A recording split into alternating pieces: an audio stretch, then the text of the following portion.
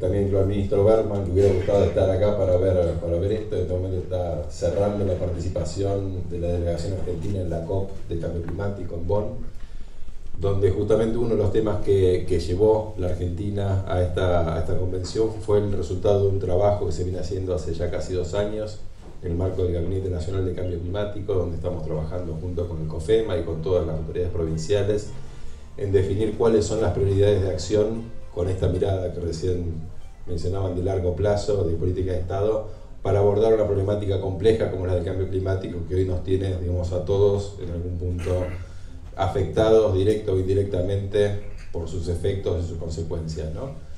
Uno de los planes justamente que se presentó, eh, un plan sectorial que está en, estado bastante avanzado, es el de bosques y cambio climático.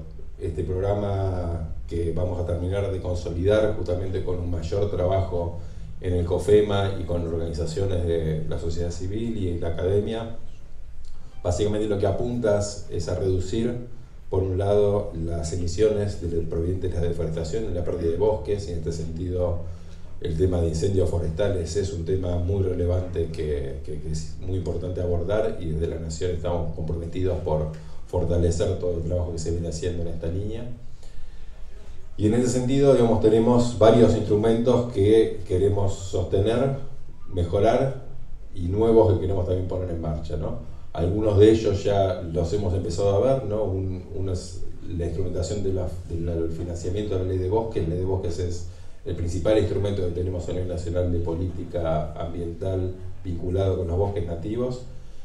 Este año se cumplen 10 años desde su sanción y como recién decía el subsecretario, venimos digamos, de un trabajo eh, importante eh, realizado con el COFEMA de empezar a fortalecer y mejorar toda la instrumentación de este marco de la ley de bosques. El tema administrativo, como decía que en dos años se ejecutaron los fondos de cuatro, y toda la rendición de esos fondos y la transparencia en el uso de esos fondos es una prioridad para que nos hemos fijado en el Ministerio y con las provincias y es un trabajo muy importante que estamos, haciendo y, ajustando día a día.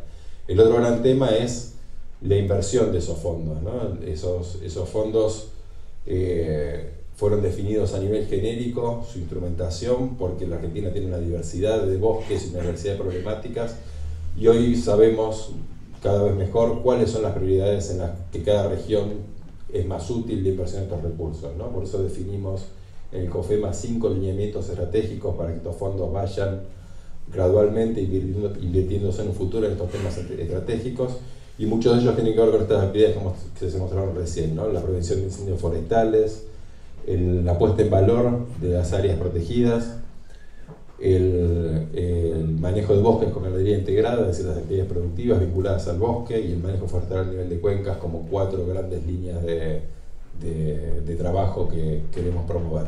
Y el quinto tiene que ver justamente con el tema de la reforestación y la recuperación de bosques nativos. Creemos que los fondos de la ley de bosques vayan cada vez más orientándose hacia estas prácticas y que hoy que tenemos un instrumento de largo plazo sea uno de los canales por los cuales todo esto trascienda digamos, a las gestiones individuales y podamos promover que estos programas de largo plazo puedan tener un acompañamiento de la política nacional a largo plazo.